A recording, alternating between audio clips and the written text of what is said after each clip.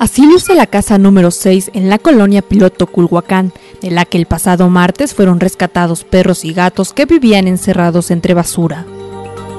Después de insistentes denuncias y quejas por parte de los vecinos de la calle Coatlicue, el asunto llegó a las redes sociales y un grupo de defensores de animales lograron que se abriera la puerta de la casa ubicada en la planta baja.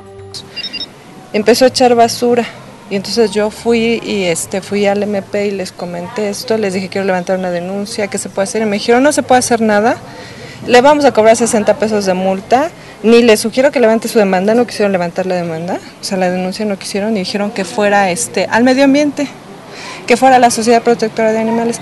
Yo me puse a levantar denuncias por internet y resulta que este nada más me, me, este, me contestaban que sí, que había una orden y venían y pegaban un citatorio los chicos de la Sociedad Protectora de Animales empezó a correr por Face y ellos fueron los que vinieron, los que estuvieron presionando.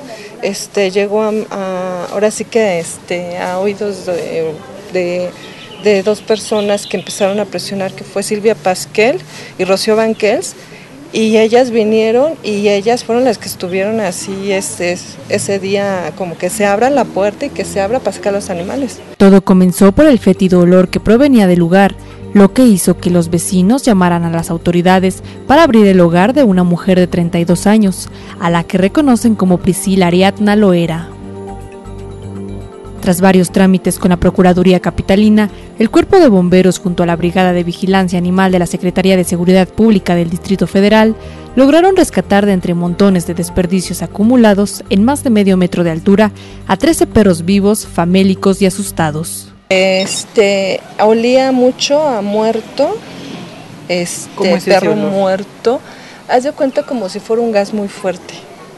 Entonces, este, tuvimos un problema con lo del gas y estamos aquí. Le dije a mi esposa, es que apesta horrible.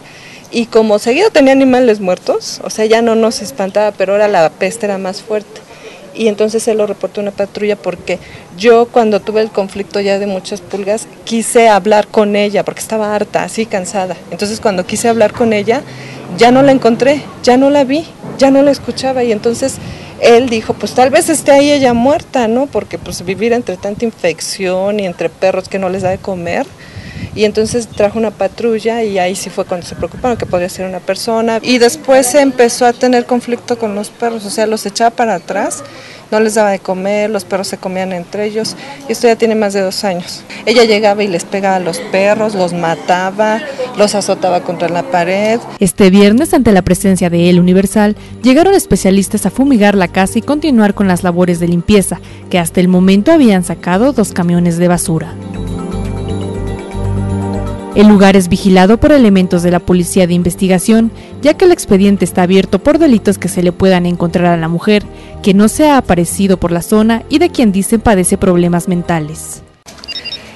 Se supone que contra ella no hay cargos. Se supone que contra ella. Lo que sí que yo creo que pues se tiene que, que hacer algo con, no sé, evitar que vuelva a, coleccionar animales o no sé de qué manera lo podríamos hacer. Se supone que nosotros lo que tenemos que hacer es reportarlo. Los animales fueron trasladados a veterinarias que les proporcionarán cuidados, mientras que las familias que habitan en la parte superior de los departamentos continuarán sufriendo durante algunos días el mal olor, las cucarachas, moscas, ratas, animales que invaden el lugar, por lo que deberán buscar ayuda médica para eliminar cualquier tipo de infección que puedan padecer. Teresa López y Rafael Montes, El Universal.